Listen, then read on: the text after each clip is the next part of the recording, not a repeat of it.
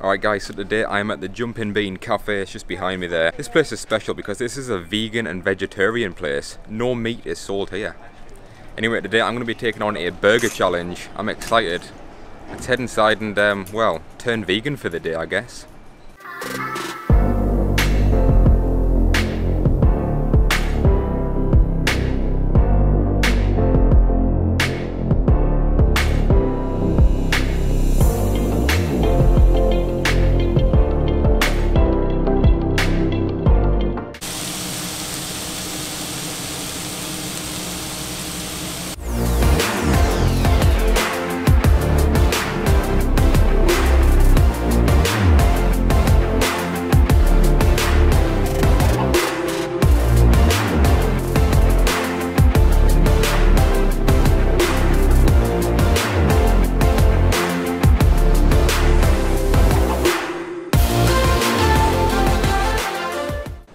Guys, so here I am at the Jumping Bean Cafe in Durham.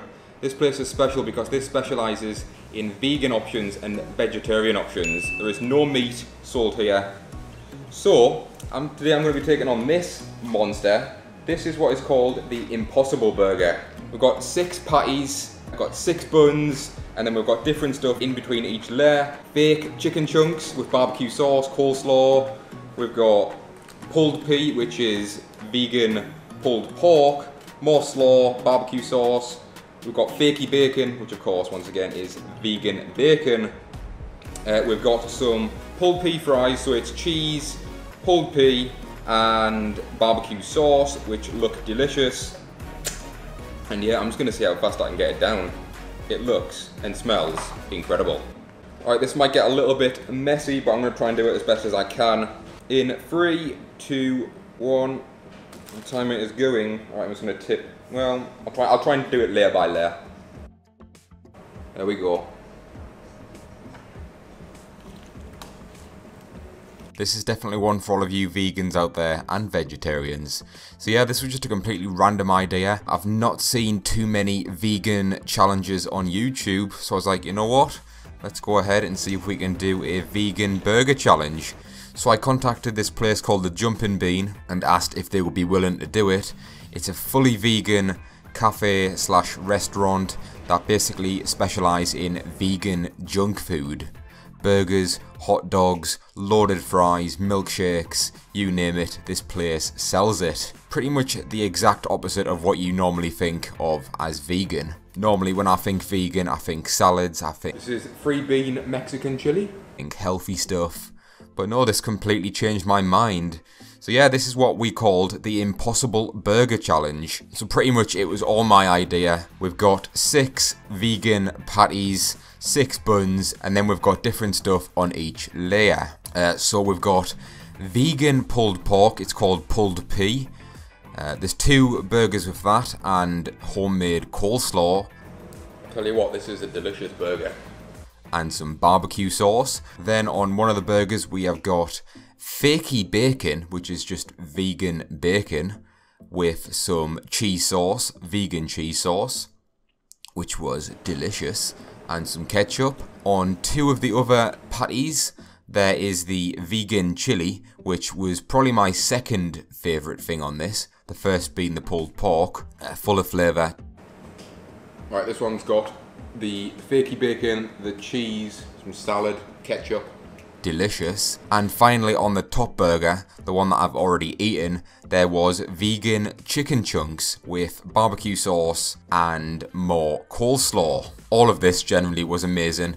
It doesn't have the same texture as meat, that's all I will say. It's a lot softer than regular kind of beef or chicken, for, for example. Uh, but the taste, honestly, is amazing. Just slid straight down and of course you can see right at the front there is an order of their loaded pulled pork fries. So it's the pulled pea, it's the vegan cheese sauce and more barbecue sauce.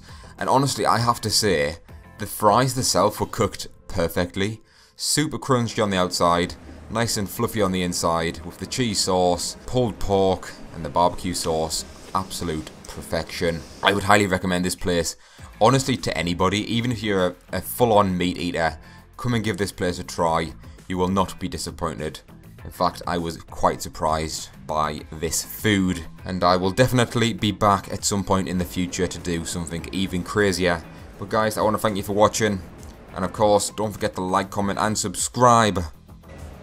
Right, final part of the burger. We've got this is the pulled pea with barbecue sauce, more coleslaw. Check out the Jumping Beans social media, I'll have it right at the top of the description. And of course, I will catch you in the next video.